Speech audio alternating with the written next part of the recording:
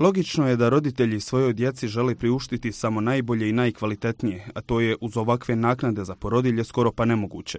Jer od kad je 8. maja stupio na snagu novi zakon o socijalnoj zaštiti, porodiljama koje su u radnom odnosu u kantonu Sarajevo smanjene su naknade za stotinu maraka, odnosno sa 460 na 360 maraka. Ka za mene je ovo šok, vjerujte.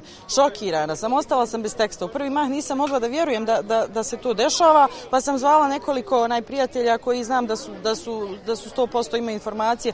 Kad su mi rekli, javila sam nekim svojim prijateljicama, porodiljama, plakale su žene na telefon. Jer vjerujte, neki od njih su i postanari, i imaju male bebe. Su, suprug im je na birovu. Borimo se za prava ovih bebica, prije svega ovaj zakon jako diskriminatoran za žene koje radi i žene koje ne rade.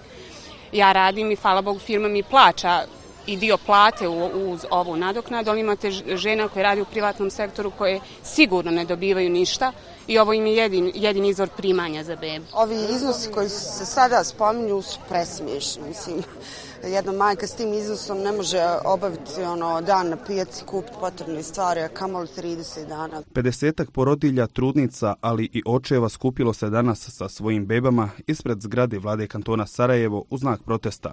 Osim što se pribojavaju hoće li ostati bez posla, ako već imaju tu sreću da su zaposleni, strahuju i od mnogih drugih problema koje niko ne rješava.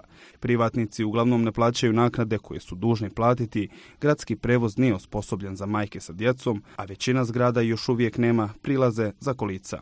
Sve su to stvari preko kojih se tiho prelazi. Umjesto da potiču razvoj zemlje, potiču rađanje djeci, nove generacije da stasavaju, oni, oni šire poruku da se iselimo iz zemlje, da se ne treba rađati ni, ni jedno dijete. Mislim, šta nam pruža onda ova zemlja? Ništa, ništa.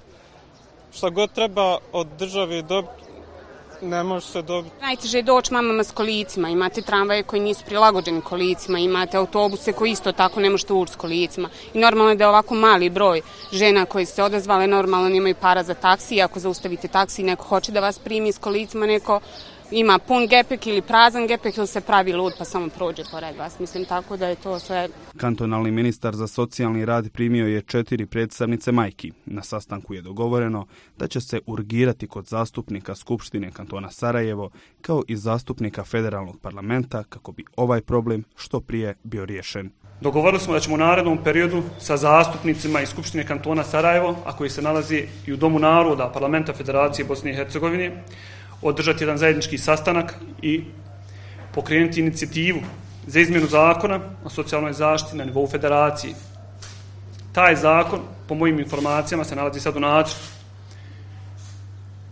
Način na koji on uređuje ovo pravo je znatno povoljniji nego što je to sada uređeno. Ja sam shvatila da e, možemo računati na njegovu podršku u smislu dakle daljih koraka na, na cijelom ovom putu, a naš put je zapravo tek sada počeo.